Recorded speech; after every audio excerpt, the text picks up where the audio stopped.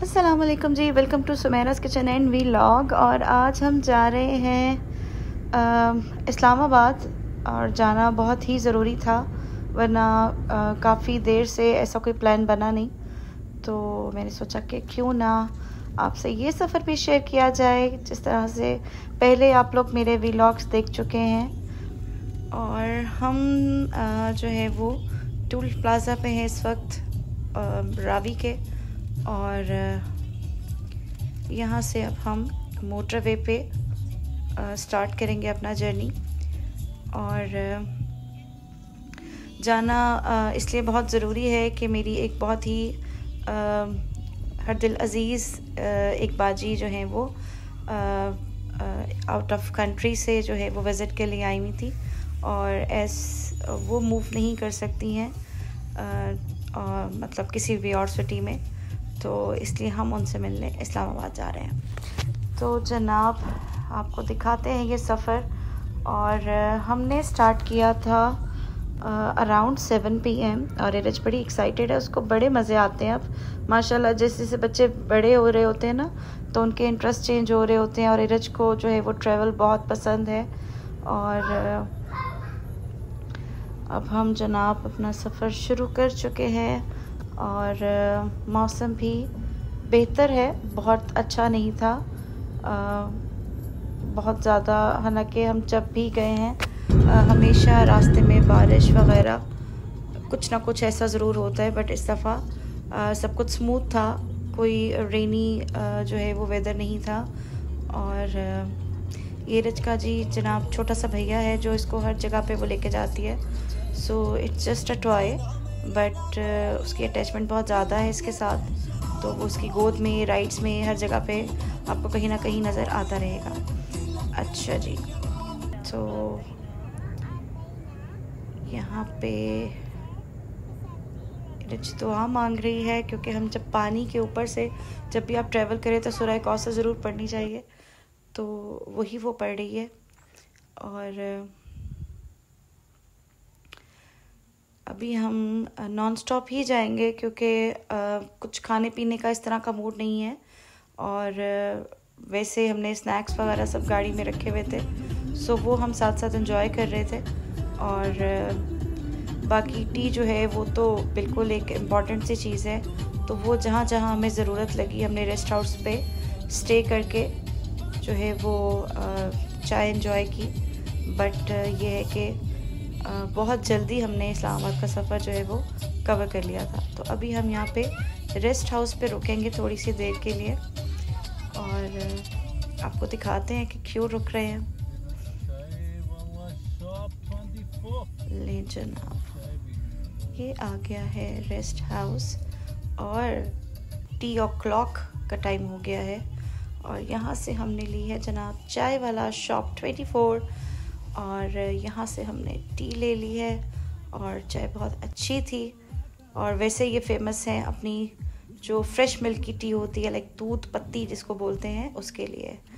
और इरत जो है वो साथ साथ अपने प्ले भी इंजॉय कर रही है और साथ साथ टी भी इंजॉय कर रही है, उसको भी चाय पसंद है।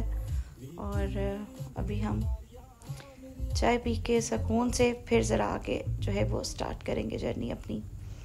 तो ले जनाब, हम हमने दोबारा से स्टार्ट कर दिया है और, बहुत ज़्यादा दिन के लिए नहीं है जस्ट टू डे ट्रिप है टू टू थ्री डेज़ क्योंकि लॉन्ग वीकेंड था और तो हमने सोचा कि इसी का जो है हम बेनिफिट ले लें और जो हमारे काम जो हैं वो रहते हैं पेंडिंग हैं, उनको पूरा कर लिया जाए। तो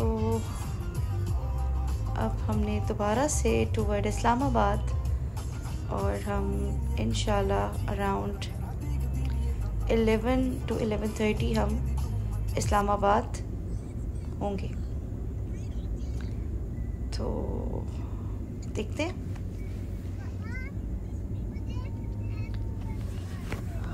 और रात का जो है ना ट्रैवल मुझे वैसे ही बड़ा अच्छा लगता है।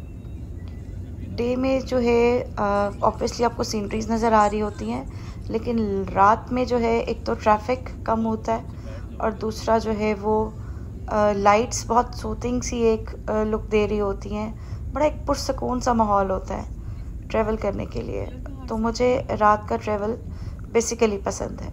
जब अगर कोई इमरजेंसी ना हो, कोई बहुत इंपॉर्टेंट ना हो कि हमें डे में ही जाना है तो वी विल प्रेफर कि हम रात का जो सफ़र है, वो करें। और विंटर्स में ऑब्वियसली हम डे को प्रेफर करते हैं ड्यू टू फॉक बट ये है कि अभी ऐसे ही अच्छा लग रहा है। तो अभी हम थोड़ी देर में पहुँच जाएँगे जनाब इस्लामाबाद। और, इरज कहती है, जी मून हमारे साथ साथ ट्रेवल कर रहा है। और,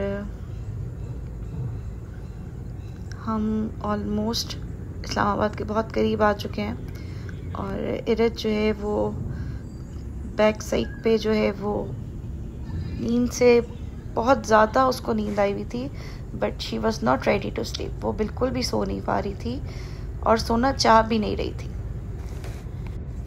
सो फिफ्टी वन मिनट्स जो है वो हम अवे हैं अपनी डेस्टिनेशन से और प्लान हमारा जो है वो आ, ये जनाब हम आ गए हैं। पेशावर मोड़ वाली साइड पे। ये देखें। जी जनाब तो अब हम ऑलमोस्ट पहुँचने वाले हैं। और थोड़ी सी ही देर में इस्लामाबाद का जो टूल प्लाज़ा है वो भी आपको नज़र आ जाएगा।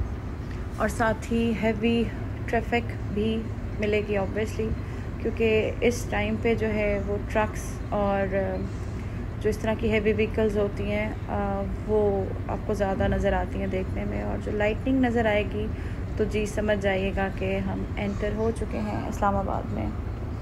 तो ये देखें आपको इस्लामाबाद की एंट्रेंस नज़र आ रही है।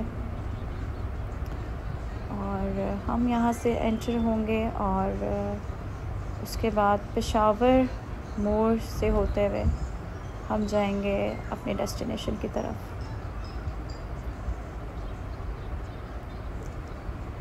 बहुत ही पुरसकून, बहुत ख़ामोश और हम एंटर हो रहे हैं इस्लामाबाद में।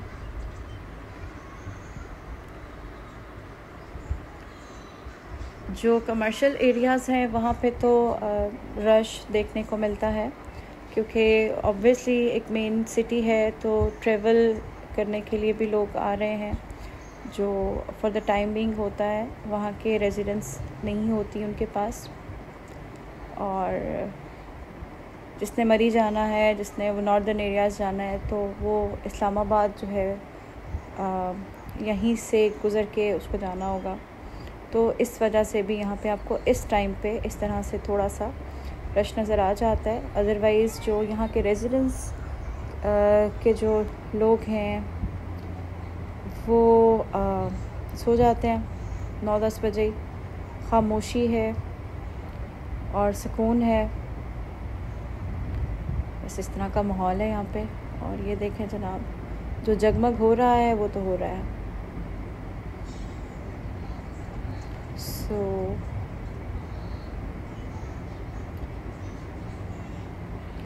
अभी देखते हैं रेंज जो है वो हमने स्टे करना है रेस्ट हाउस में और किसी होटल में बुकिंग नहीं है।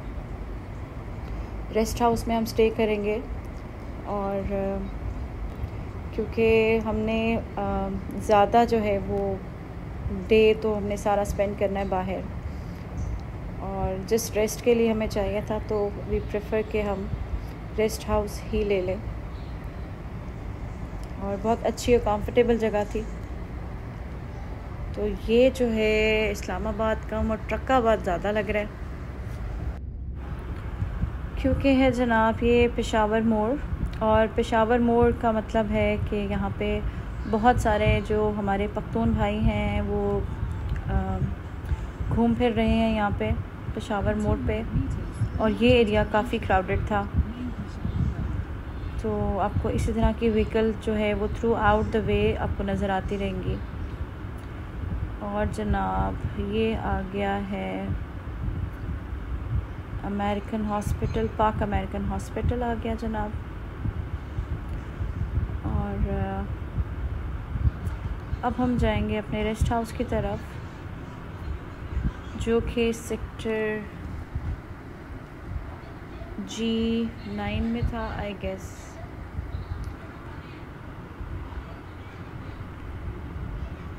इरत जो है वो अब सो चुकी है, क्योंकि वो बहुत ज़्यादा टाइट थी बट वो सो नहीं रही थी।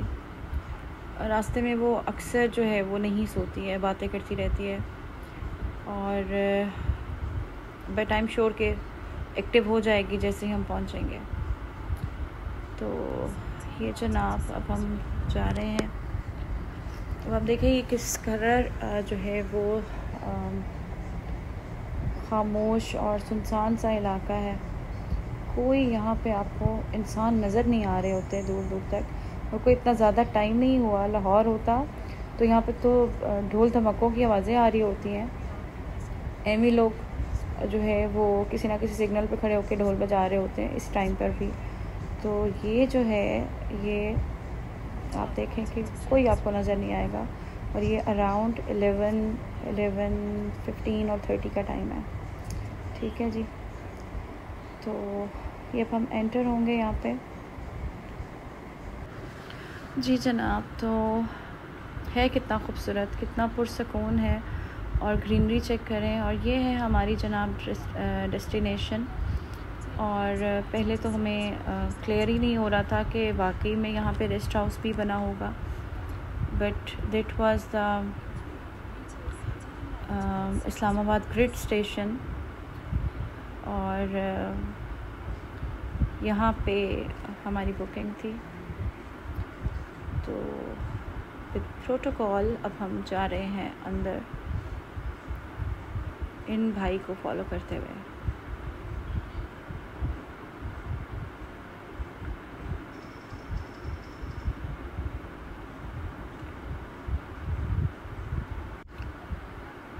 जगह अच्छी है, पुरसकून थी और बस अब हम पहुँच चुके हैं।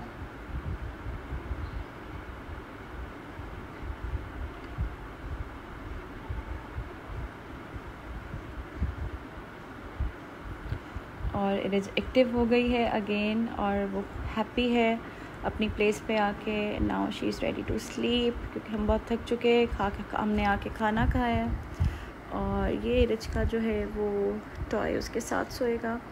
और आज हम जो है वो गुड मॉर्निंग के बाद जा रहे हैं जनाब मेरी जो मदर इन लॉ है, उनकी डेथ एनिवर्सरी थी। तो हम जाएँगे कब्रिस्तान, कुछ अरेंजमेंट्स करने हैं कुरान खानी के लिए। तो वहाँ जाएँगे और उसके बाद जो है वो हम कहाँ जाएँगे वो आपको मैं बताऊँगी। तो अभी हम निकले हैं आफ्टर ब्रेकफास्ट और अभी हम जा रहे हैं जनाब इस्लामाबाद ग्रेवयार्ड की तरफ़ और ये भी मैं आपको दिखाती हूँ। मौसम जो है वो कुछ ख़ास मज़े का नहीं था। आई वॉज़ एक्सपेक्टिंग कि थोड़ा सा जो है वो क्लाउडी होगा और वेदर चेंज होगा, कुछ अच्छी हवा चलेगी but it was peak sunny day जो होता है, उस तरह का था, बहुत गर्मी थी। और ये जस्ट आपको जो नज़र आ रहा है, ये जस्ट देखने की हद तक ही है, वरना मौसम में कोई अच्छा जो है वो चेंज नहीं था। बट अभी हम जा रहे हैं जनाब ये है जनाब, पेमरा का ऑफ़िस आ गया। उसके बाद जो मेन मेन एरियाज़ हैं, मैं आपको वो भी दिखाती हूँ। और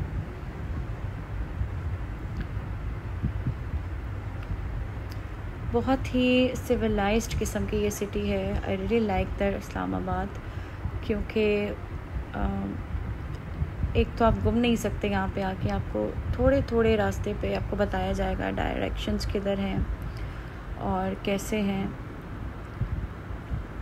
बहुत ही अच्छा और बहुत साफ़ सुथरा, बहुत पुरसकून। और अब हम आ गए हैं।